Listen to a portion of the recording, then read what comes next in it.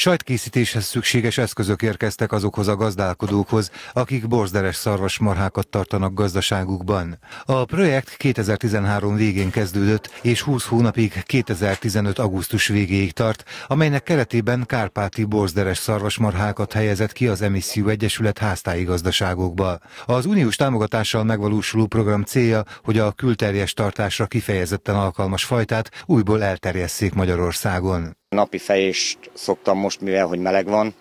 Átváltottam napi egy fejésre, hát olyan 5-6 liter tejet fejek 24 óránként belőle. De ez, hogyha nem ilyen meleg az idő, akkor ez változik, mert olyan 12 litert is tudok belőle fejni az egyetlen egy tehénből. A borzderes fajta kimondottan alkalmas sajtok és más tejkészítmények előállítására, ezért a kisüzemi, illetve a házi termék előállításban is fontos szerepe lehet. Éppen ezért a program részeként a sajtkészítéshez szükséges eszközöket is vásároltak a gazdáknak, és képzést szerveznek, hogy a tejet minél több formában tudják feldolgozni, és ezzel akár plusz jövedelemre is szert tehessenek az állattartók. Meg kéne szereznünk ezt a tudást, a sajtkészítéshez szükséges tudást, és akkor nagyon szeretnénk többféle sajtot is csinálni, ki fogunk próbálni mindent, amit csak lehet. Falvainkban már a szinte teljesen megszűnt az állattartás. Ezen a helyzeten sokat javíthatnak olyan programok, amelyek alkalmasak a háztáji gazdaságok támogatására és a manufakturális élelmiszerfeldolgozás újbóli kialakítására. A projekt keretében 40 szarvasmarát, 40 tehenet helyeztünk ki.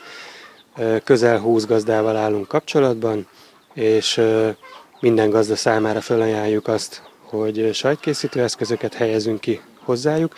Ugye ez a 15-20 gazda, ez Szabolcs-Szatmár-Bereg és Borsod-Abaúj Zemplén megyékben található.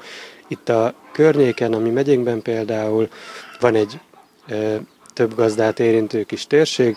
Itt hat gazdával állunk kapcsolatban, Porcsalma, Pátyod és Csukod térségben és a hat gazdából öt döntött úgy, hogy sajtot szeretne majd készíteni, tehát itt öt ilyen sajtkészítő eszközkészletet fogunk kihelyezni. A projekt a Magyarország, Szlovákia, Románia, Ukrajna MP határon átnyúló együttműködési program keretében valósul meg az Európai Unió társfinanszírozásával, amelyben az Emisszió Egyesület partnere az ukrajnai Terradei Alapítvány.